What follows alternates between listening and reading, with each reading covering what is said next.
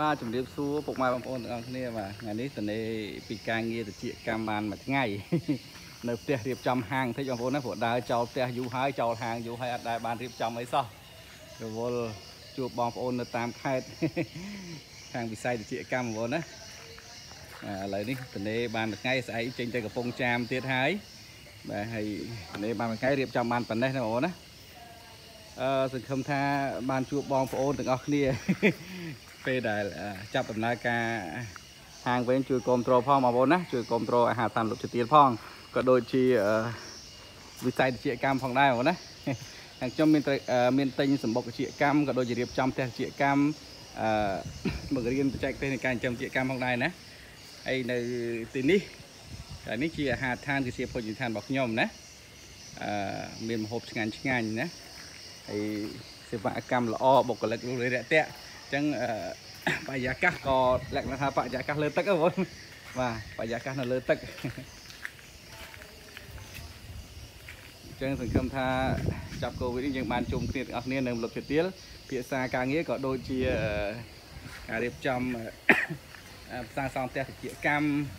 ក៏ដូចជាបងប្អូនត្រូវការរៀនបច្ចេកទេសនៃការចិញ្ចឹមសត្វវិជ្ជាកម្មអាចតំណមកខ្ញុំតាមលេខស័ព្ទ096 996និងការ៉េ5 បន្តទៀត017 25 17 17បងប្អូនណាអូខេនេះអឺបរិយាកាសនៅលើទឹកបងប្អូនណាស្ងាត់ស្ងាត់ល្អណាស់ហើយត្រជាក់ថ្ងៃក្តៅក៏អត់ក្តៅដែរបងប្អូនត្រជាក់ស្រួលល្អណាស់ណាយើងរៀបចំនៅលើទឹក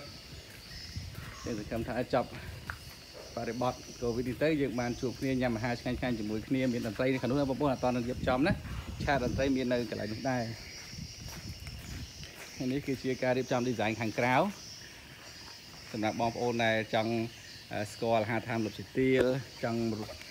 សាកម្ហូបឆ្ងាញ់ឆ្ងាញ់នៅអាហារតាមលុបជាទៀលបងប្អូនអាចដល់ខេត្តតកែវមកហើយអឺតម្លាក់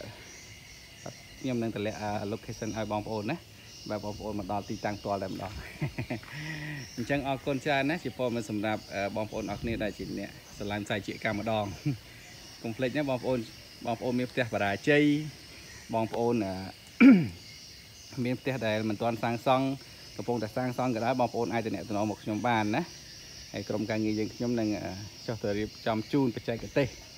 ហ្នឹងហើយតាមបងប្អូនត្រូវការអឺ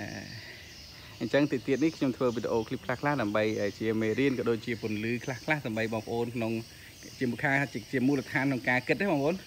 ថាយើងគួរជ្រើសរើសសេវាបែបណា យើងគួរតែជ្រើសរើសអ្នកបច្ចេកទេសបែបណាឬក៏បងប្អូនត្រូវសម្រាប់ចិត្តក្នុងការរៀនឬក៏យ៉ាងម៉េចហ្នឹងខ្ញុំធ្វើវីដេអូឃ្លីបនៅបន្តិចទៀតនេះណាអញ្ចឹងអរគុណច្រើនហើយក៏ជម្រាបលាបងពុកម៉ែបងប្អូនអរគ្នាជូនពរសុខភាពល្អ